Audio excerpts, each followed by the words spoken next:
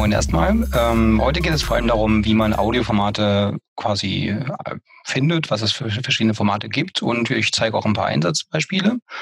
Und heute ist also quasi so ein bisschen die Meta-Folge. In anderen Folgen würde ich darauf eingehen, wie wir das Ganze machen können und wofür, so, also welche Technik wir dafür nehmen können. Das sind schon im Hintergrund ein bisschen Spielereien.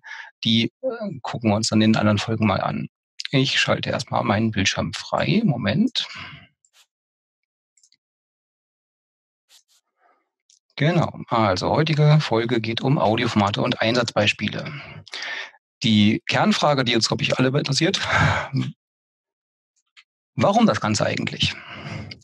Ähm, prinzipiell ist ein Audiokanal relativ einfach zu haben. Das heißt, wir kriegen was auf die Ohren.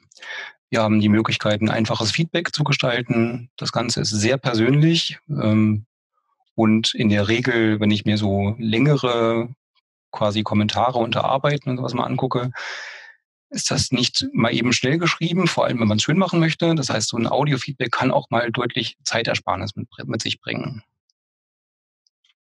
Ja, wie kann man so ein Audio-Feedback eigentlich gestalten? Ähm, die Frage ist erst nicht, äh, nicht erst seit Corona interessant. Ähm, also das ist zum Beispiel ein Blog-Eintrag von der Schule, die mit QR-Codes quasi die Audioschnipsel verbreiten.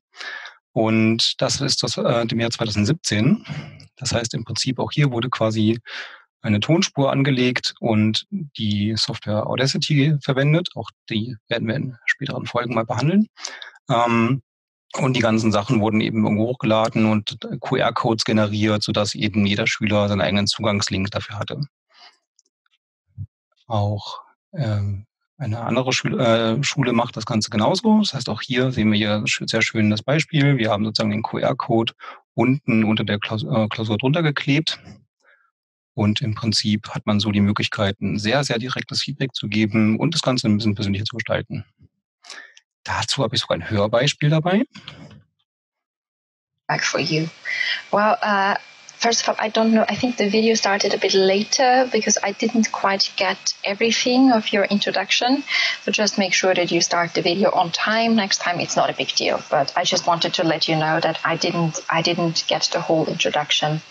However, what I what I did see was that Christiane, you told the viewers what was going to happen. So you're going, you're Jans, and you're going to answer emails, uh, letters by viewers, by teenagers. So I think that was a good idea. Um, when you read out the letter, Christiane, don't don't read so so quickly. Slow down a bit. It's very hard to understand, um, especially if you don't have any pauses between one sentence and the next. Okay.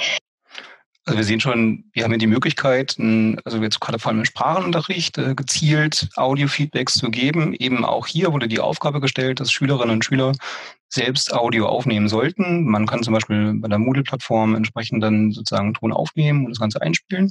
So hat man die Möglichkeit, eben auch dieses Hörverstehen zu trainieren. Das heißt, die Schülerinnen und Schüler müssen sich selbst überlegen, wie sie das Ganze vertonen also was sie sagen, wie sie es sagen und das Ganze hochladen. Und man hat eben die Möglichkeit, ein direktes Feedback zu liefern und damit hat man eine sehr schöne Möglichkeit, mal einen Unterricht anders zu gestalten als nur Text und äh, Abgabe und Gib ihm. Genau. Eine sehr andere Form der Audioaufnahme ist ein Podcast. Das heißt, äh, das ist eine Art Radioformat. Wir nehmen eben Audio auf und laden das Ganze irgendwo hoch. Das heißt so eins zu n. Wir streuen das Ganze in die Menge. Ähm, auch da gibt es Möglichkeiten, das Ganze eben auch geschlossen zu machen. Das heißt, sozusagen den Link nicht öffentlich zu machen für den Podcast, dass man eben sagen kann, okay, ich äh, mache zum Beispiel einen Unternehmenspodcast oder ich mache einen Schulpodcast. Das heißt, dass die Schülerinnen und Schüler auf Zugang haben. Natürlich kann man die Dateien irgendwo runterladen und dann verbreiten, aber wir gehen erstmal davon aus, dass das keiner macht, weil alle ordentlich aufpassen. Ähm, Podcasts können von wenigen Minuten bis mehrere Stunden dauern. Das heißt, äh, der einfachste Podcast ist wirklich ein kurzes Gespräch. Moin, wie geht's? Alles klar, wie ist denn das Wetter? Und können aber auch dann wirklich längere Podcasts dabei sein.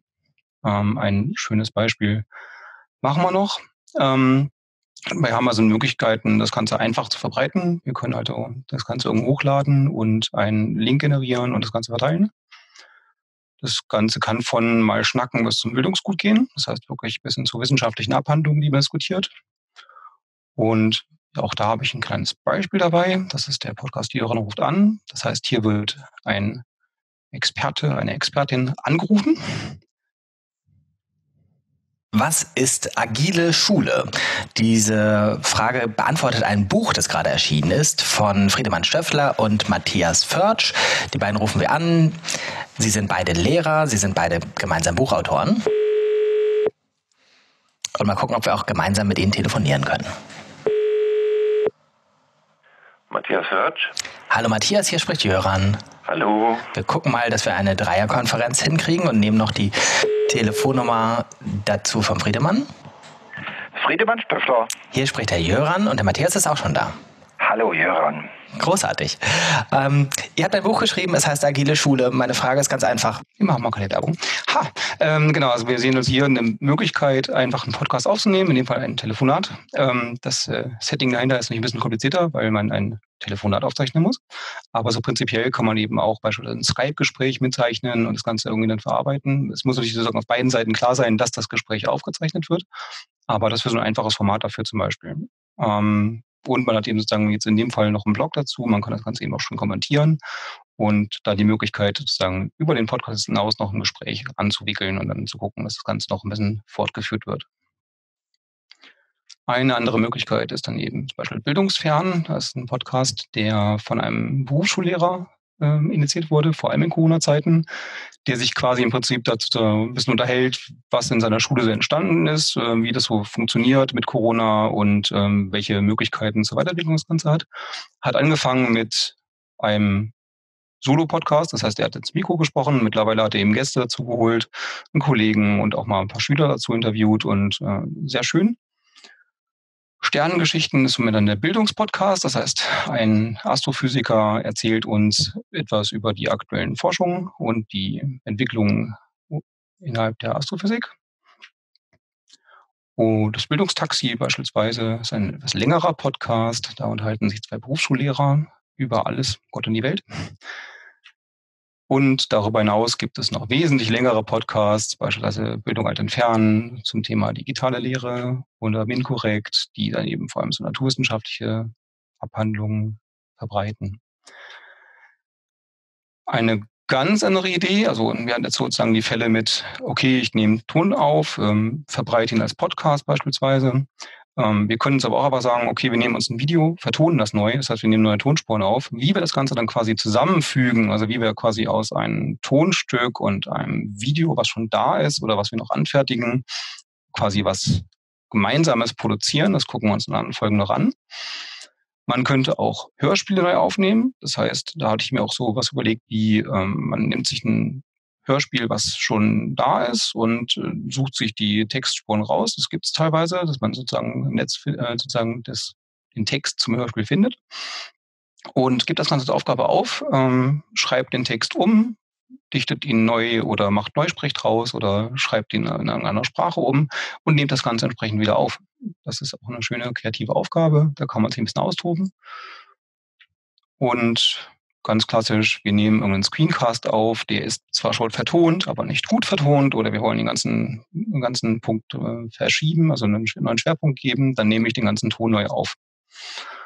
Und ganz äh, schöne Idee ist auch, einen Audioguide anzufertigen. Das heißt, wir gehen quasi durch unsere Schule, wir gehen durch unsere Stadt, durch unser Stadtviertel und äh, erzählen so ein bisschen darüber, was wir so sehen, welche Entwicklungen es dabei gibt, machen vielleicht ein kleines Interview dazu und hat man so die Möglichkeit, ein bisschen was an, an Feedback reinzuholen. Auch hier ist sozusagen der kreative Ansatz dahinter. Die Schülerinnen und Schüler müssen sich halt überlegen, wie gestalte ich das Ganze, auf welche Punkte gehe ich ein. Äh, jetzt zu Corona-Zeiten kann man durch die Wohnung gehen und die Wohnung entsprechend erklären, was man so macht, wie man den Tag verbringt. Auch das wäre also ein kreativer Ansatz abseits von einem stinknormalen Tagebuch. Genau. Jetzt haben wir das Ganze aufgenommen. Das ist schön. Ähm, aber wohin denn damit? Da gibt es mehrere Möglichkeiten. Man könnte eine eigene Umgebung haben, also beispielsweise ein Moodle oder ein WordPress mit einem Podlove-Plugin. Das äh, geht relativ einsteigerfreundlich. Das heißt, man lädt die Datei dort hoch, fügt die als Link irgendwo ein. Äh, WordPress mit Podlove ist auch so ein Ding, da kann man eben wirklich dann sozusagen äh, Podcasts ähm, an sich einpflegen und die ganzen mit Metadaten versehen und relativ einfach einbauen. Man könnte die Dateien auch, auch, irgendwo bereitstellen, also irgendeine Cloud-Lösung bereitstellen, Nextcloud etc., wie Transfer und bestimmt noch ganz viele andere Ideen, die mir noch nicht gekommen sind. Da bin ich sehr offen, was man so diskutieren könnte. Talking about Technik. Die spannende Frage ist ja, wie nehmen wir den ganzen Kram auf? Prinzipiell ist ein externes Mikro immer besser als gar keins. Das heißt, ähm, die Handys, die wir heute haben, sind zwar sehr, sehr mächtig, aber das äh, in, intern eingebaute Mikrofon ist nicht das Beste, was wir kriegen können. Das fängt schon an mit einem ganz normalen Klinkenmikro. Das heißt, wir haben ja meistens bei den Telefonen so ein Headset dabei. Das ist schon besser als das eingebaute Mikrofon, weil das eingebaute Mikrofon quasi alles um sich herum mit aufnimmt.